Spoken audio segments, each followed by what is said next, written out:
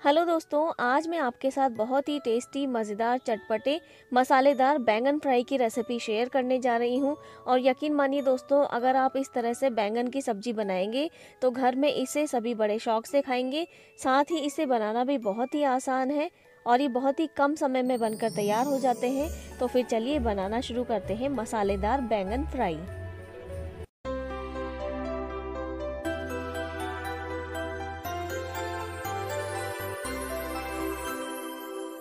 मसाला बैंगन फ्राई बनाने के लिए मैंने यहाँ पर 250 ग्राम छोटे वाले बैंगन लिए हैं। ये देखिए, इसे मैंने पानी से अच्छे से वॉश कर लिया है। तो सबसे पहले हम इसके ये जो ऊपर वाला हिस्सा है, इसे निकाल देंगे। ये देखिए, इस तरह से। और इसे निकालने के बाद इसमें ऊपर थोड़े से कांटे हैं छोटे छोटे इसे भी हम इस तरह से हटा देंगे।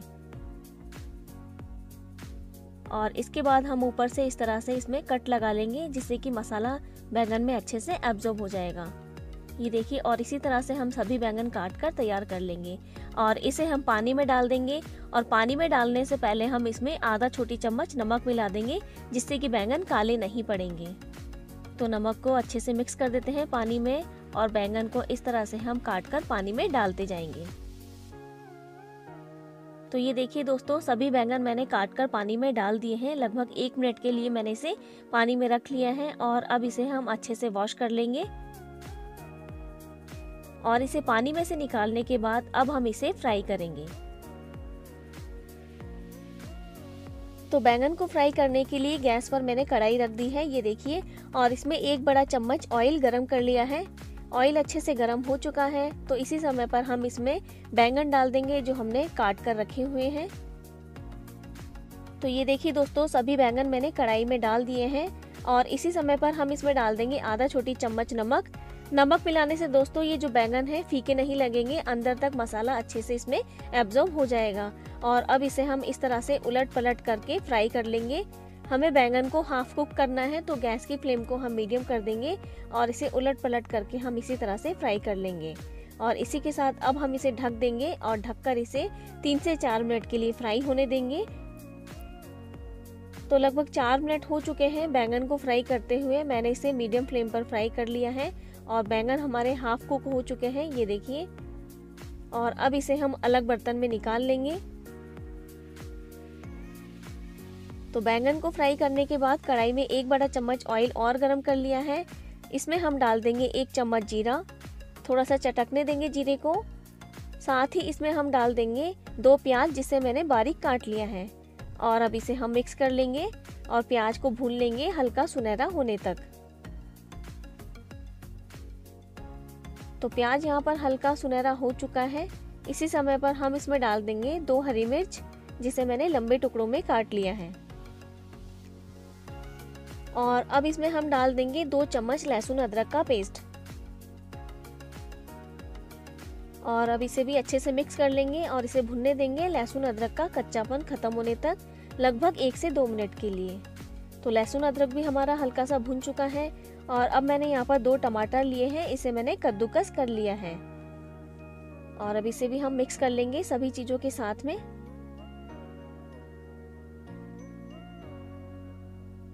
और जैसे ही टमाटर अच्छे से मिक्स हो जाएगा, तब हम इसमें नमक मिला देंगे। तो एक चम्मच नमक लिया है, आप अपने टेस्ट के हिसाब से नमक कम या ज़्यादा कर सकते हैं। तो नमक को भी मिला लेते हैं। और नमक को मिक्स करने के बाद अब इसे हम ढक देंगे और ढककर इसे दो से तीन मिनट के लिए पकने देंगे। तो ये देखिए दोस्तों, तीन मिनट के लिए मैंने अच्छे से टमाटर को पका लिया है। और अब इसमें हम बाकी के मसाले भी ऐड कर देंगे। तो एक चौथाई चम्मच हल्दी का पाउडर लिया है, इसे डाल देंगे। साथ ही इसमें डाल देंगे एक चम्मच धनिया पाउडर। अब इसमें हम मिला देंगे आधा छोटी चम्मच लाल मिर्च का पाउडर। आधा छोटी चम्मच गरम मसाला। और अब मैंने यहाँ पर तीन से चार छोटे चम्मच भुनी हुई मूंगफली का पाउडर लिया है। इसे भी हम कढ़ाई में डाल देंगे। दोस्तों, इससे टेस्ट भी बहुत ही अच्छा आता है और ग्रेवी भी गाढ़ी हो जाती है। तो सभी चीज़ों को हम अच्छे से मिक्स कर लेंगे। और जैसे ही ये सब चीज़ें मिक्स हो जाएगी तो इसमें हम मिला देंगे आधा कप के लगभग पानी। और इसे भी हम मिला लेंगे। और अब इसे हम ढक देंगे और ढककर इसे दो से तीन मिनट के लिए पकने देंगे।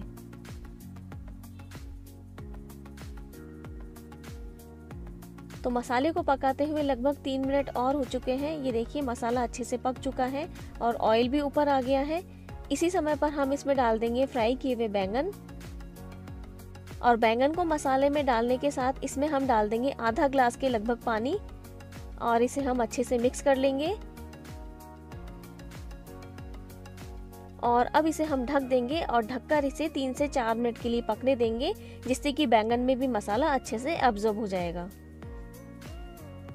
तो लगभग चार से पाँच मिनट के लिए बैंगन को मैंने और पका लिया है और ये देखिए, बैंगन अच्छे से पक चुके हैं, मैं आपको दिखाती हूँ।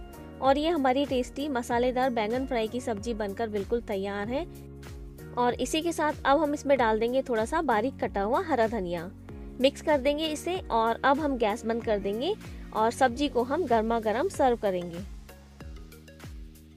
तो ये लीजिए दोस्तों, बनकर तैयार है हमारी बहुत ही टेस्टी चटपटी मसालेदार बैंगन फ्राई। आप इसे एंजॉय कर सकते हैं गर्मा गर्म फुलके, पराठे के साथ में। खाने में ये बहुत ही टेस्टी लगती है और यकीन मानिए दोस्तों, इस तरह से बनाएँगे तो आपको बिल्कुल ढाबे वाले बैंगन फ्राई का टेस्ट आएगा। तो आप भी इसे ज़रूर बनाइए और मेरी इस रेसिपी को अपनी फैमिली के साथ एंजॉय कीजिए। रेसिपी पसंद आए तो आप इसे लाइक कीजिए शेयर कीजिए। इसी के साथ मेरे चैनल को सब्सक्राइब कीजिए। साथ ही बेल आइकन को प्रेस कीजिए। मिलती हूँ अगले वीडियो में। तब तक के लिए बाय